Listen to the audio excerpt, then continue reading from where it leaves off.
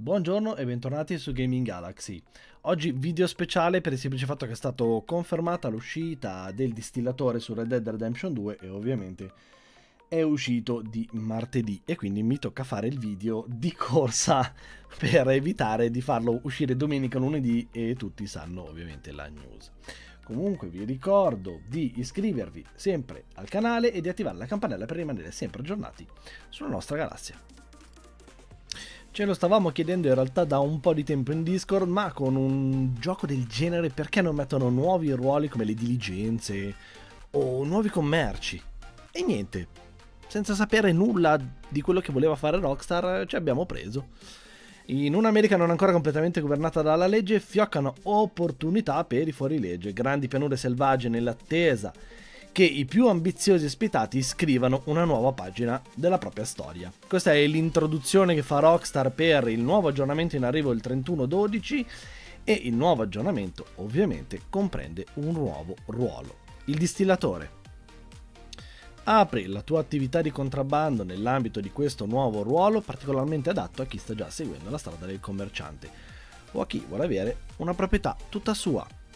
Sblocca abilità uniche e perfeziona i metodi di distillazione, sfugge alla legge e manda in fallimento i rivali. Con un po' di fortuna potresti sopravvivere abbastanza lungo da aprire un tuo locale clandestino. Ma come si ottiene il distillatore?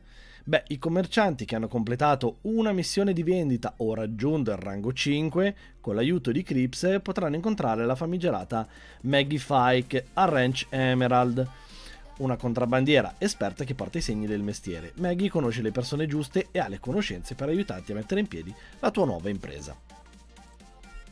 Bisognerà quindi acquistare la capanna da distillatore e saremo pronti ad iniziare. Per i passanti ovviamente la capanna non sarà altro che una normale dimora, mentre nel sottosuolo o nel seminterrato dovremo darci da fare.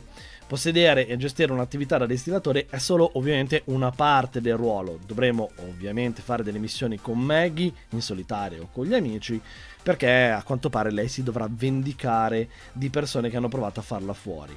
Ovviamente facendo crescere gli affari impareremo nuove ricette e tecniche che ci aiuteranno a rendere il nostro moonshine il migliore del, pane- del paese. E per finire, e non so qua i server come reggeranno questa cosa, potremo ovviamente aprire il nostro saloon, personalizzandolo come più ci pare e piace. Inoltre, in arrivo sempre il 13 dicembre, oltre a questo nuovo ruolo del fuorilegge che, oh, scusatemi, del distillatore che sarà tanta roba, avremo il pass per fuorilegge 2, nuovi articoli sbloccabili solo ed esclusivamente per i distillatori, il revolver navi, nuovi capi d'abbigliamento e slot aggiuntivi per gli abiti nel guardaroba. Il video è finito, vi ricordo di seguirci su Mixer durante la settimana, trovate il link in descrizione e vi saluto con il solito GG a tutti quanti.